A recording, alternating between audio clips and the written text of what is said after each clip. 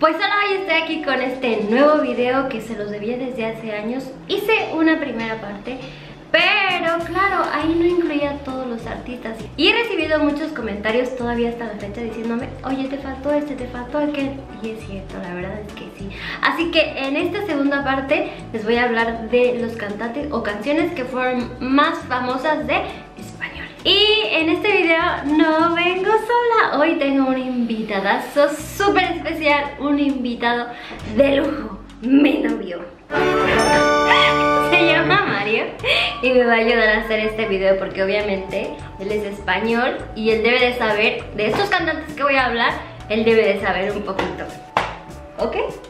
Pues no tengo ni idea de A ver, cantante con esta canción se hizo muy muy famoso en México No entiendo por qué, porque la canción a mí no me gusta, pero hablando de David Bisbal ¿Cuál es la canción más famosa de aquí? Ave María Ave María también, esa también se hizo súper famosa esa canción Ave María ¿Cuándo serás mía? Luego, otro cantante que es muy famoso ¿Tú te sabes alguna canción de Rafael? Claro que sí ¿Cuál? Na, na, na, na. Sale en todo todas las navidades, sale, pero ahora mismo no me acuerdo de ninguna. Es verdad. Mira, sí, lo que pasa es que aquí en cada año en los programas de Navidad sale cantando el señor la de El camino que lleva a Belén. Y una de las canciones que es muy famosa es la de ¿Qué pasará? ¿Qué misterio habrá? Puede ser mi gran noche. De hecho, en México hasta ha habido covers, ha habido otras personas que la han cantado y todo y es súper, súper. Y al despertar ya mi vida sabrá. Este es un grupo en concreto que eh, tuvo varias canciones famosas. Una de las más famosas es la de A ver si te suena. Por eso esperaba con la carita empapada. Ah, pues esa, esa canción es muy famosa. Con la carita empapada que llegara. Otro cantante que no mencioné en el anterior video es Joaquín Sabina. Él es muy famoso en México, va a dar conciertos y toda la cosa, pero yo no me sé ninguna canción de él. ¿Tú te sabes alguna sí, canción de él? ¿Cuál? Y no Pero las 10 y las 11 Ay, esa canción sí es cierto Esa canción sí, digamos que sí lo ubicamos en México. Claro. Las 12 y la 1 y las 2 Y les digo, es famoso. A mí en lo particular no me gusta no, no, A mí sí. Ya, es que a él luego le gusta acá música que dices Alex Subago ¿No sabes quién es Alex Subago? Sí, pero sí.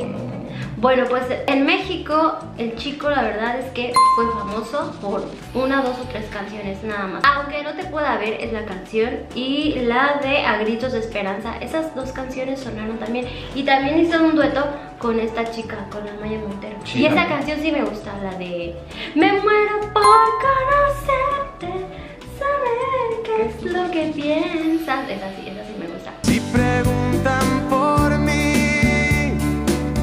también de antaño, porque pues sí, es de antaño, es Camilo Sesto. Muy famoso aquí. Pues muy famoso también allá en México. No te sabes ninguna canción de él, ¿no? Yo tampoco. Pero hay una canción que se llama Vivir así es morir de amor. Y va algo así. Ah, sí, claro. ¿Cómo va? Vivir así es morir de amor. ¿Y qué más? Tengo la María. Ah, pues esa, esa canción es muy famosa. Otro cantante del que me acordé, pero gracias a ustedes porque me lo pusieron en el video, es Sergio Dalma. ¿Ubicas? Sí, claro. Pues esa canción, yo dije, ay, sí es cierto, lo busqué. ¿Qué canción famosa? A ver. Pues mismo no tengo idea tampoco, no me deja estudiar, no me deja estudiar. ¿Saben cuál canción? La de esa es muy famosa en México, la verdad, la de Esa chica es mía, casi, casi mía. ¿No te suena? No, esa no. Bueno, de pues... Sergio Dalma, mira que me conocía unas cuantas y demás, pero no de esa... Pero sí, sí ha sido muy famosa. Y bueno, Sí. en México, en México también más o menos, la verdad es que sí, sí, como que hizo carrera ya un poquito. Esa canción es la que a mí más me suena. Esa chica es mía, Casi, casi mía está loca casi, casi A este cantante, yo hablé de este cantante en mi anterior video porque tuvo una agrupación muy famosa y, y, de mucho éxito allá en México, pero el chavo se hizo solista. Como solista también de las canciones que más ubicamos allá es la de Lady Blue y estoy hablando de Lady, Lady Blue. Ay, no lo ubica hasta que te cae mal, me dices, el Bumburi. Ah, bueno, tampoco que me diga mal, yo qué sé. Lo pongo y me dice, ya me pusiste ese loco. Enrique Bumburi ha sido y seguirá siendo súper famoso en México. ¿Pero eso es solo de Enrique Bumburi o es de Héroe? No, no, no, esta es ya es de Enrique Bumburi. Claro, que de Enrique yo no escuché casi nada. No. De solista no escuché nada. Sí, lo que pasa es que aquí como que yo, de solista yo siento, un poquito. Sí, yo siento que Enrique Bumburi ha tenido muchísimo más éxito como Enrique Bumburi en México que aquí en España, como que aquí yo siento que como que no le hacen mucho caso, no sé. A comparación del caso que le hacen en México, que allá hace conciertos y la gente la verdad es que lo quiere bastante. Voy a empezar a cantar esta canción y a ver si te la sabes. ¿Ya viste lo que sigue? Sí que, que son grupo de, de los años catapum. Exacto, es que son, son cantantes de los años catapum, como dicen aquí, de los años del caldo, como decíamos en México. Porque yo en el anterior video puse grupos, digamos, como más modernos, pero claro, toda la gente más grande que yo, digamos, de edad, pues me dijeron, oye, ¿y estos grupos qué? Entonces yo no los había eh, incluido. Son famosos, pero en ese, o sea, en ese video como que me llegaron a la mente los más, los más recientes, digamos, ¿no? Porque también estoy hablando de hace muchos años. Pero estos todavía son muchísimo más antiguos. Y la siguiente canción es... Parchis, chis, parchis, chis, Es el juego, es el juego de que, que no me nace bien. Bueno, pues Parchis fue un grupo conocido y esta canción es de las más conocidas. Parchis, chis, chis, parchis, chis, chis. ¿Escuchaste? O sea, ¿tus fiestas de niños te ponían esa? No, es que, es que él es muy joven. Todas estas canciones son así de... Ni él las ubica. Parchis era casi de tiempo de mis padres, 60, 70. Porque alguien ahorita de Parchis queda de tener esas edades, ¿no? Sí, pues sí, del año catapum. Pero no te acuerdas. ¿Ya la ves? La vida es así. Pero no te suena de nada. Que no, que no. Para nada. bajo la lluvia. Pero ¿qué me dijiste que esta canción qué? Sí, si lo dices a mi madre todavía sí, pero a mí.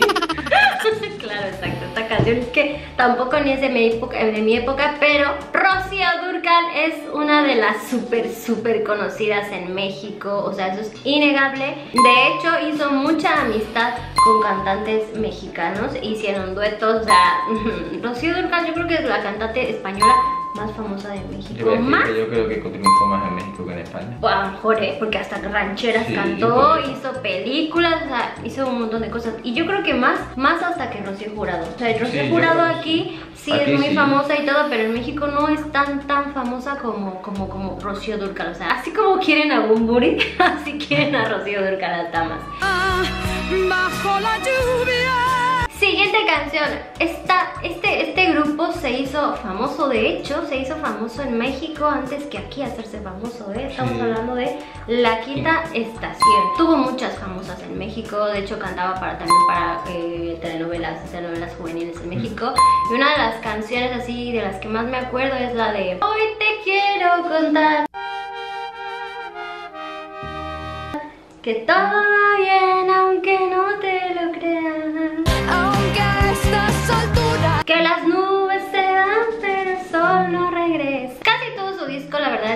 tuvo mucho éxito en México. O sea, ha tenido mucho éxito esta, esta cantante, la verdad. ¿Ubicas al grupo Mocedades? Ni me suena. ¿No te suena la canción, la de ¿Quién te cantará? Con esta guitarra, ¿quién te...? Eso sí, mira, me dice Rocío, alguna te puedo ver Rafael, pero Mocedades. No, Mocedades no, ¿verdad? Bueno, pues Mocedades es un grupo español y su canción, bueno, yo es que la verdad tampoco es que yo lo escuchara mucho, pero la de ¿Quién te cantará con esa guitarra? Esa canción sí, sí la llevo a escuchar en México. Igual es que también es muy antiguito. O sea, para tus papás, yo creo que tus papás sí, sí la ubican. Sí, claro. Amaral es muy famosa Muy aquí. aquí. Allá en México tampoco crean que wow. O sea, más, más ha sido famosa la oreja de Van Gogh y la de la quinta estación. Pero Amaral a lo mejor sí, la canción esta que como que fue más famosa es la de Te necesito. Espérate. que- Te necesito como la luz del sol, o algo así. ¿Cómo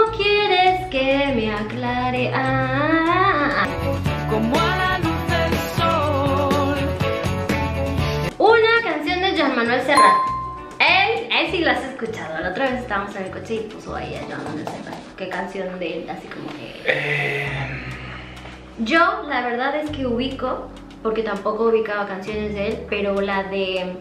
La de Hoy puede ser un gran día. No me acuerdo cómo va la tonada. Es que este empiezo. Tiri, tiri, tiri. último. O sea, ahí está. Sí te la sabes, ¿no? Pues yo me acuerdo que este empiezo, yo escuché esta canción y este empiezo, de hecho en México lo agarraron para, no sé si para un programa de televisión o para un, pro- una- un comercial o algo, pero este empiezo de esta canción, mm, súper famoso. Y sí, él es famoso en México, la verdad, también como, pues así como de la época de Joaquín Sabina, ¿no? Sí, además hacen duetos entre los dos. Oye, pero ya está bien viejito, bien la foto de los. Los dos. Un grupo un poco famoso. A mí la verdad es que tampoco me llamó mucho la atención. Ella baila sola. Sí, claro. Ah, pues ahí está, sí lo sé. Pero yo creo que es la única canción que fue. Pues en México igualmente, o sea, fue la única, la única canción, canción así que como que, escucha de ella. que, que pegó realmente, no, no, no hay más. Amores de barra y un lápiz de labio. Ya sé quién se me estaba olvidando. Esta canción la ponían en sobre todo en las fiestas de calle. En México hay muchas fiestas que son en la calle, ¿no? Y cierran las calles, las calles y todo para hacer su fiesta. Claro, estamos hablando de barrios populachos, o sea, barrios populares. Entonces, me acuerdo que yo sí varias veces llegué a escuchar en estas fiestas. O sea, ponían sus cumbias, sus salsas, pero entre descanso y descanso, y mientras el hombre, porque en estas fiestas hay como un DJ que habla, ponían esta canción que te va a sonar. Es que te va a sonar, te va a sonar. te- Yo no sabía que eran, que eran españoles hasta hace unos cuantos años que me enteré ya viviendo aquí. Mago de. Fiesta pagana. Eso, eso, esa canción famosa en México también, ¿eh? Y saben que otra canción también famosa que él me la puso el otro día en el coche y yo dije, claro, también. Óyeme, mira, mi tierna. Lola, mi triste vida, es tu triste historia. Esa canción fue súper famosa también, o sea, estos chavos la verdad es que pegaron con esa canción. Llamado y tiene historia, que más que historia será un poema. Ten, ten, ten, ten. Yo creo que ya, o sea, a lo mejor, a lo mejor se me puede estar resbalando alguno, no sé. Espero que les haya gustado. Muchísimas gracias por verme, muchísimas gracias por estar aquí y muchísimas gracias por llegar hasta este final de este video. No se olviden seguirme por las redes sociales, por favor. Estoy en TikTok y estoy en Instagram como... Carla sin nada más. sí, exacto. Así que por favor, síganme por allá, por allá. Nos vemos. Muchísimas gracias por estar aquí. Nos vemos en otro video. Bye.